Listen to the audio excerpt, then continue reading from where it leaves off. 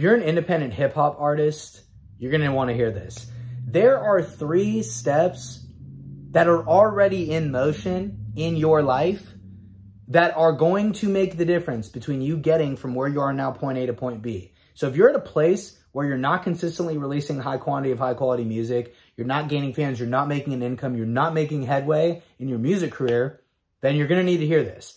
Now, generally speaking, when people talk about three steps, the gurus, generally they're saying, do these three steps or these five steps or these seven steps, and then they're going to da da ba ba. And what ends up happening? They, they don't mean fucking anything. Those three steps don't do shit most of the time. How do I know?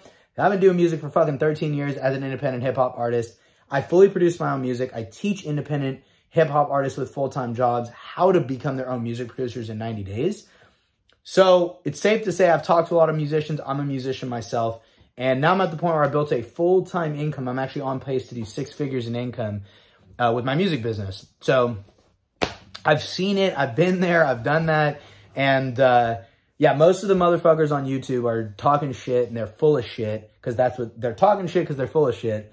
And uh, I want to literally share just like these three steps that, like I said, this isn't like take these three steps and implement them and you're going to see results. Because what the fuck? You really think you're going to see results on a YouTube video for free? Or you think you're going to get results from a, a free YouTube video? Like, what the fuck? No, like, probably not. You need to, like, actually invest. But I want to explain these three steps to you because these are already happening.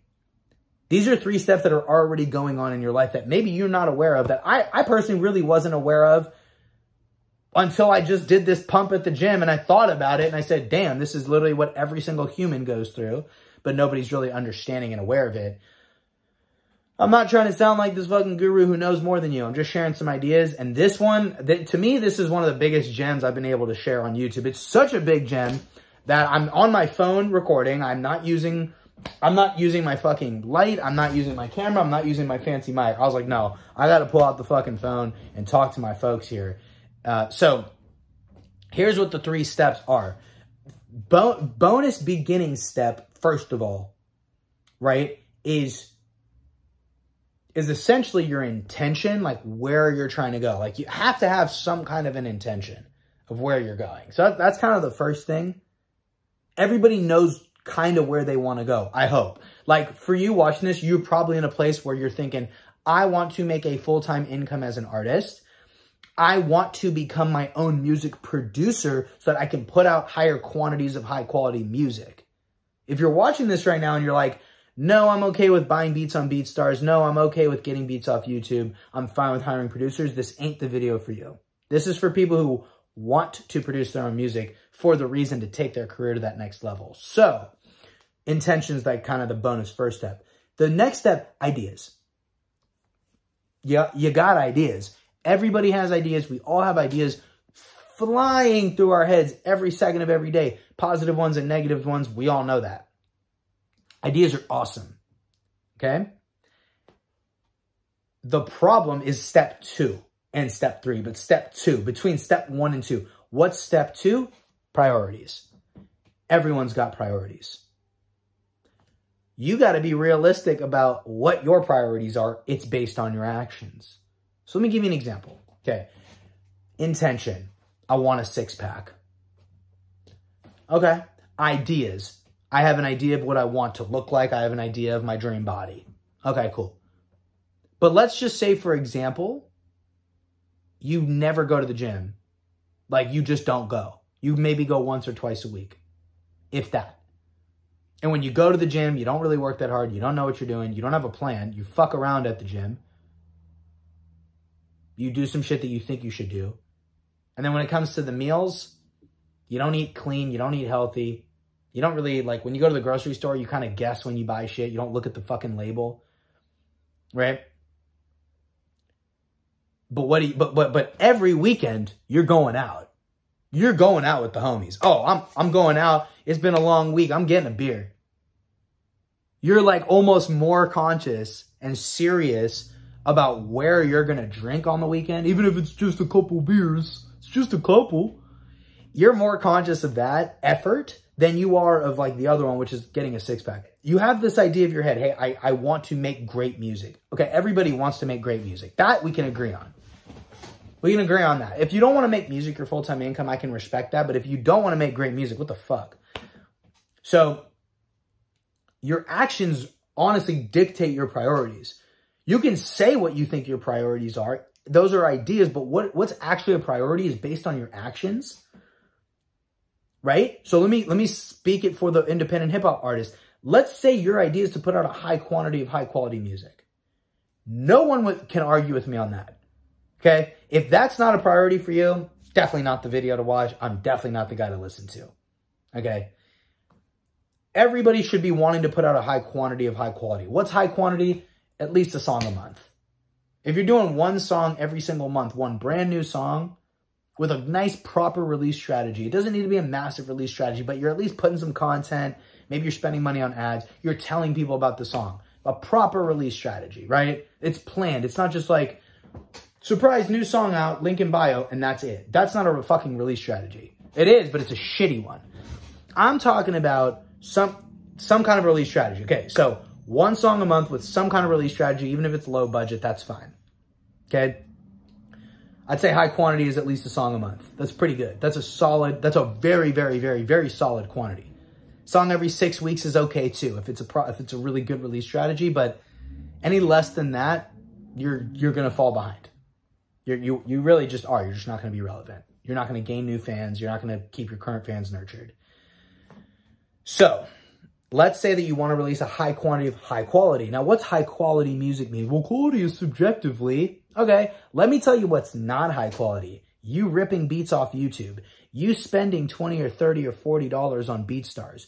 You spending hundreds of dollars per beat. Let me say why. The quality of the music might be really good, but the quality of your process ain't good. Think about it. You got to spend, let's say you buy a beat, 250, 300. Let's just say 250. For mixing and mastering, that's going to cost you somewhere around another 100 to 250 bucks on average. So on average, low conservative number, you're going to spend around a $500 per song. Okay? $500 per song if you want quality. You can go that route. 500 times 12 is 6,000. You're going to be spending over $6,000 per year for your music before spending money on marketing. Okay, fair enough. So again, we're going with the assumption that your priority is what? High quantity of high quality music. Your actions honestly don't really dictate that though. They don't. You can be putting out quality music, but do you know what you're doing with your marketing? No. I know plenty of artists who make extremely quality music where they buy the beats, they go to a studio, and guess what they do for their marketing? Fucking nothing.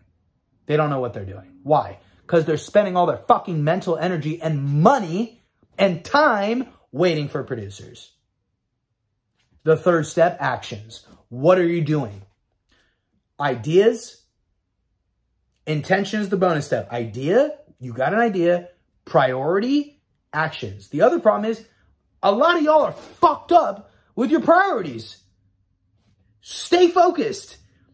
Put out high quantity of high quality music. What do you need to do? Put out a new song every single month. You got to be able to do that.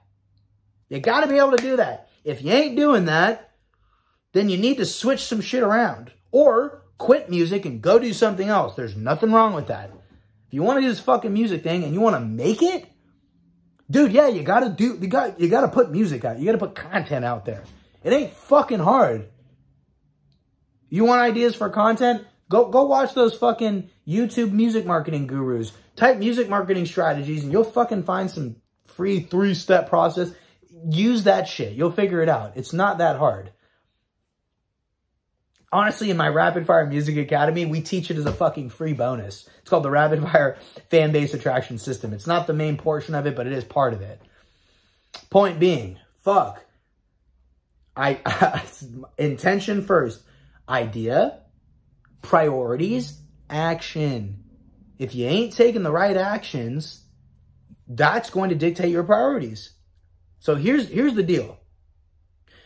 If you're not able to put out a high quantity of high quality music effectively and efficiently, you need to make a change now. Okay? Best way to do it is to produce your own music. You got to produce your own music. Make your own beats, record your own vocals at home, mix and master. Best way to do it, honestly, is fucking signing up with Rapid Fire Music Academy. You can go on YouTube for free to learn. It took me four years to get me good at it. I will literally save you four years of time. Imagine this. Imagine, obviously, to join this academy, there's a fucking investment, duh. So you can book a call below to talk to me, but if you're not ready to invest, it's fine. Don't book the call. But let me explain this to you. You're going to pay an upfront investment, and it ain't cheap, by the way. It's in the mid thousands, just so you know. So kind of be ready for that. It's customized pricing. I'm not going to tell you the price before the call yet.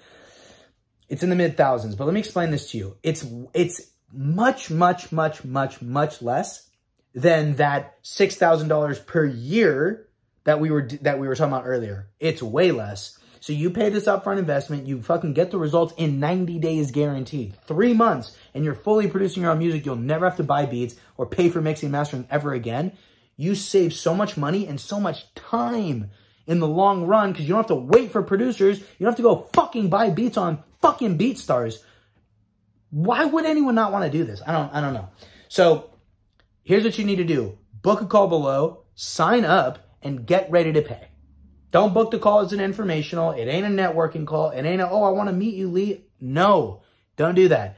I'm literally going to cancel the call on you. Just be ready to invest. Be ready to get started with this shit, all right?